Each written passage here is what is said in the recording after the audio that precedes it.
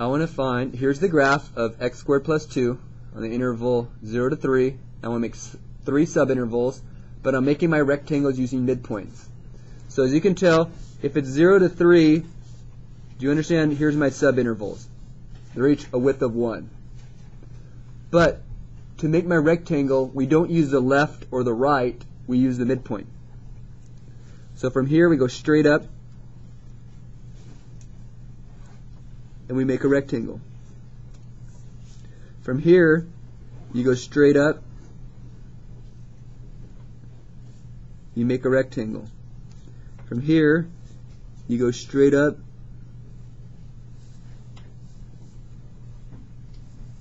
you make a rectangle. Can you tell how much more accurate this is? Midpoint tends to be a lot more accurate, but it's also a lot of times a lot more annoying because sometimes you get fractions you have to deal with. Now, is it easy to tell the height by looking at the graph of each rectangle? No. So for this particular problem, you're going to have to plug it into the equation. Now, what is the width of each of these boxes? The width is 1. So, the formula, sorry, by the way, the formula is the width sorry, let's say the area under the curve is equal to the width times f of something plus f of something plus f of something. Are we okay with that? What is the width?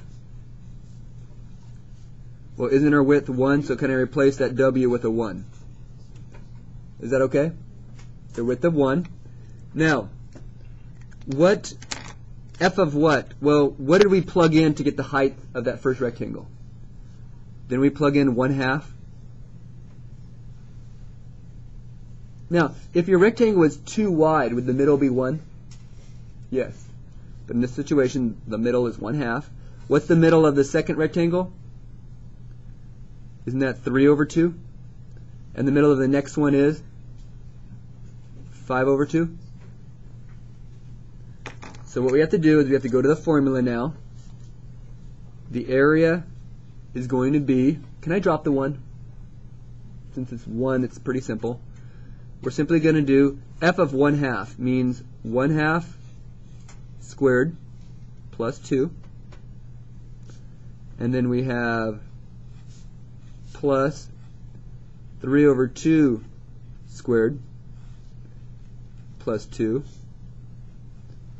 plus 5 over 2 squared plus 2. Gets a little bit ugly. So this becomes 1 fourth. 1 fourth plus 2.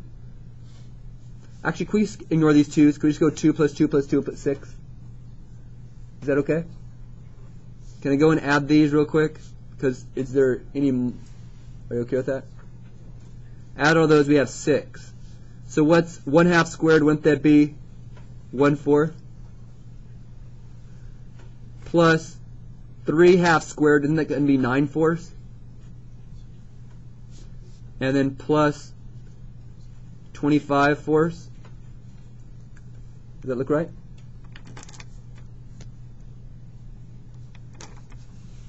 So my area is 6 plus what's 10, 35 fourths. And how do we change, what are we going to change 6 to to make it a fourth? We'll multiply by 4, so won't that be 24 fourths plus 35 fourths? So it looks like we have 59 fourths.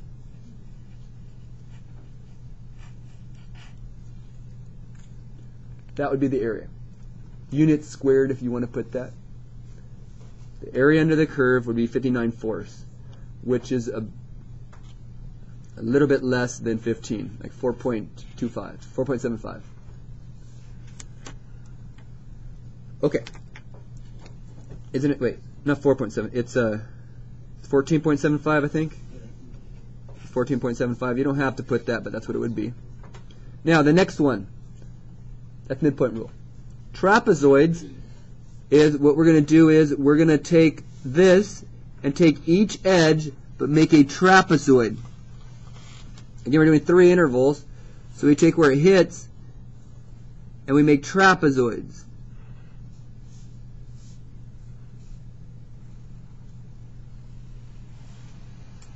Can you see how accurate these are? The trapezoids are hecka accurate because they tend to fit it well. And the more trapezoids you have, the more accurate it gets. So, it's a little bit different. Okay. For trapezoids, your area is going to be, what's the width of all these? Well, isn't the width the height? And isn't all of them, aren't all of them going to have one half too? So can I take h over 2?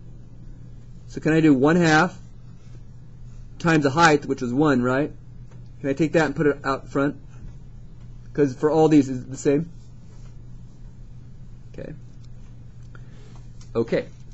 Now, we want to, we have to do b plus, b1 plus b2 for each one, correct?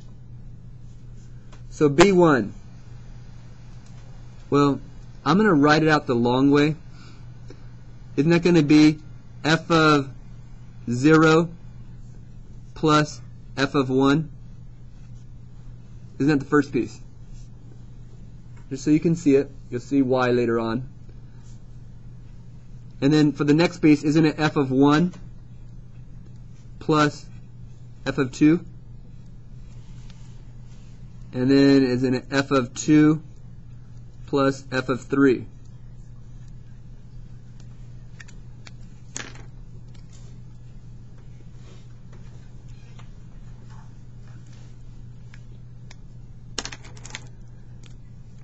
Now look real carefully. How many times do we have f of 1?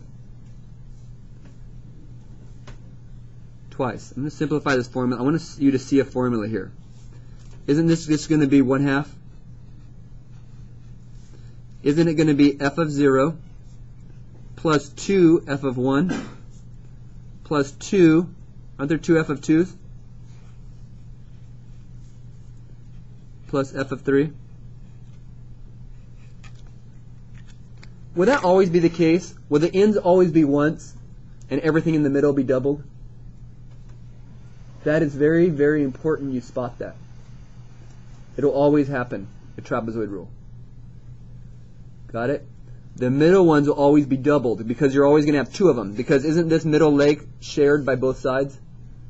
The edges are only counted once. Everything in the middle is going to be counted twice. So that's a good shortcut. You can jump right to the shortcut. Okay? So you have area, 1 half. What is f of 0?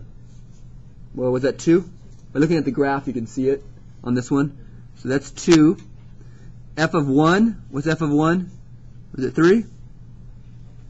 If you didn't have a nice graph, do you understand you'd be plugging it in right now? Plus, what's f of 2? 6. And then we have f of 3, which is 11.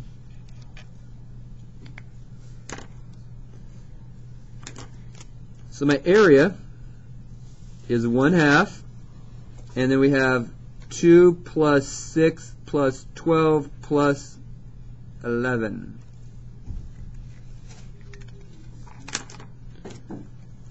Which is 1 half, and that'd be what? 8, 10, 20, 31? Does that look right? Yeah.